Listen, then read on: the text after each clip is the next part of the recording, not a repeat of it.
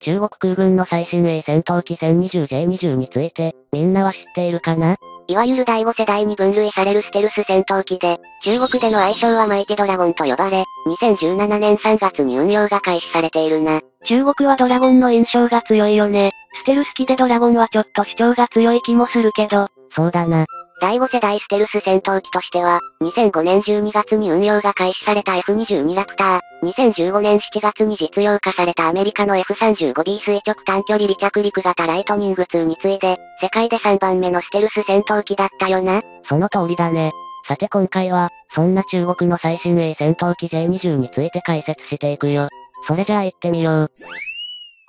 世界の第5世代戦闘機とされているのは、2022年6月現在において先ほどの3機種、F35 には派生型として通常離着陸型の A 型と関西型の C 型が追加されているの他には、2020年12月に運用が開始されたロシアのスホイ57だけなんだ。2022年3月にアメリカ太平洋軍のケネス・ウィルスバック司令官が、ミッチェル航空宇宙研究所によるインタビューの中で、F35 と J20 が遭遇したことについて語っていて、それによると、東シナ海においてアメリカ軍の F35 形式は不明が飛行中に、中国空軍の J20 と遭遇して交戦寸前の状況まで接近したことがあるとし、F35 のパイロットの報告によって J20 の性能と中国軍パイロットの連動について、想像していた以上に高いものであったとしているみたい。また、その際に付近には中国空軍の早期警戒管制機 KJ500 空警500も飛行していて、それらの間で統制の取れた行動を見せていたことに驚いたとして、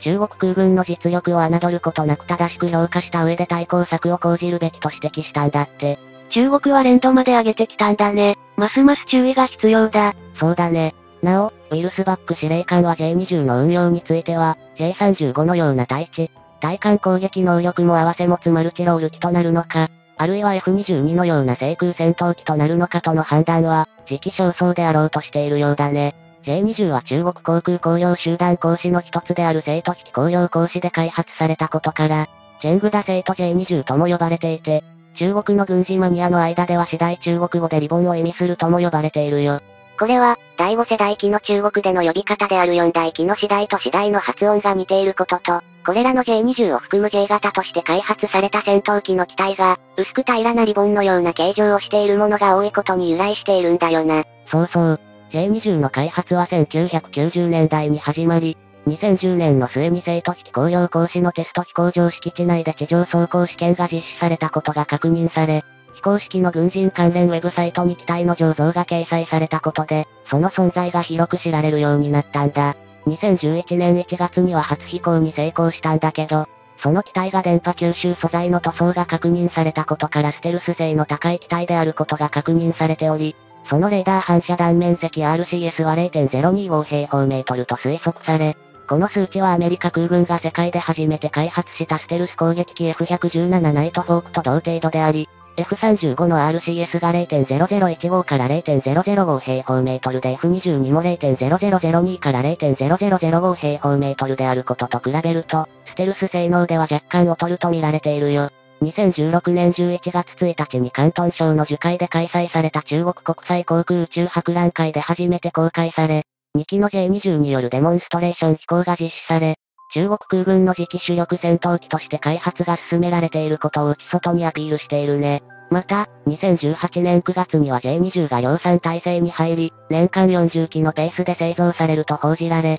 2019年から東部戦区に配備が始まったとされているよ。なお、第5世代ステルス戦闘機では世界で初めて複座型が製作されていて、後席の乗員はロイヤルウィングマンのような無人航空機との編隊を組んだ際の完成を行うものと見られているぜ。J20 の初言って把握できてるの？現時点で推定されている J20 の初言は、全長21.2メートル全幅13.01メートル全高4.69メートル空虚重量1万7000キログラム。最大離陸重量3万 6300kg 実用上昇限度2万メートル最高速度 2500km 毎時最大航続距離 5900km とされ、総発のエンジンは初期型においては、ロシア製デスホイ27フランカーに搭載されている、サプールン AL31FM に最大水力 145kN を搭載していたんだけど、2021年9月に行われた航空ショーで国産エンジンの WS10C 最大水力 147kN が搭載された J20 を飛行させ、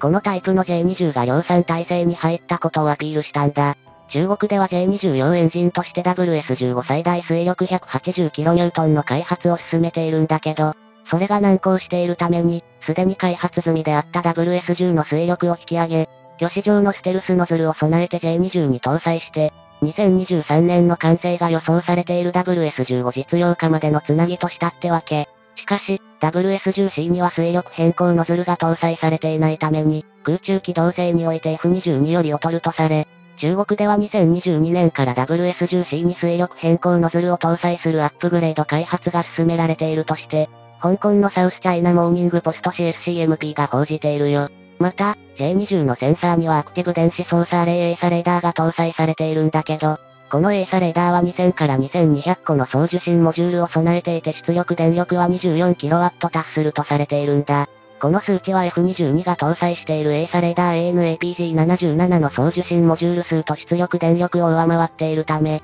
J20 に搭載されているエーサレーダーは ANAPG77 より探知距離が長いのではないかと見られているよ。また J20 には、F35 に搭載されている ANA937EODAS によく似た分散開口システム DAS が採用されており、機体の各部に複数のセンサーを備えているほか、機種の下面には F35 と同様に電子光学照準システム EOTS を備えているんだけど、F35 の EOTS86 が空対空空対地赤外線捜索追尾機能を結合しているのに対して、J20 の EOTS は空対空目標の補足照準に比重を置いていると見られているね。ちなみに、J20 の1機あたりのコストは1億1億から2000万ドル約132から160億円と言われているが、2000年代の初頭では4億5000から5億元約88から98億円とされていたもので、それは開発過程において大幅にコストが上昇したことを意味しており、推定されている研究開発費は約300億元約6000億円以上であろうと見られているぜ。F35 のコストは、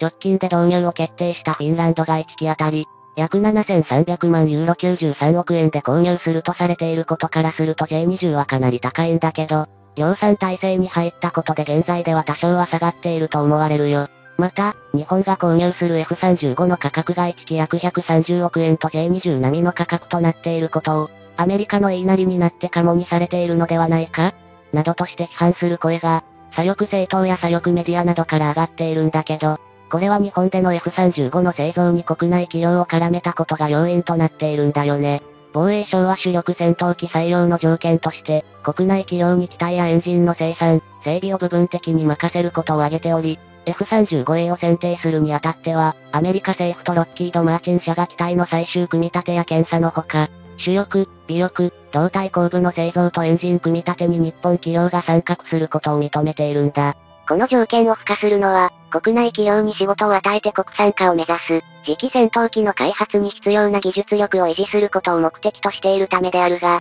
そのことで新たな設備投資やライセンス獲得費用も必要となり、そのための経費が調達価格に上乗せされているってわけだな。そういうこと。そして、J20 の研究開発費が約300億元約6000億円以上とされていることに関して、2035年から退役が始まる F2 戦闘機の後継機種として防衛省が開発を進めている、航空自衛隊の次期戦闘機の研究開発費が1兆4000億円と見積もられていることに批判が上がっているよ。しかしながら、これについては過去に多数の国産戦闘機を開発してきた中国でさえ、第5世代戦闘機の開発に6000億円以上かかっているんだから、F16 ファイティングファルコンを母体として F2 を開発した経験しかない日本が、次世代第6世代とされる戦闘機を開発するのだから当然とする見方があるんだ。自衛隊の装備品を全て国産化して、調達を世界情勢に左右されないようにすることは国防上必須であり、特に高額な装備品である戦闘機の国産開発製造は重要で、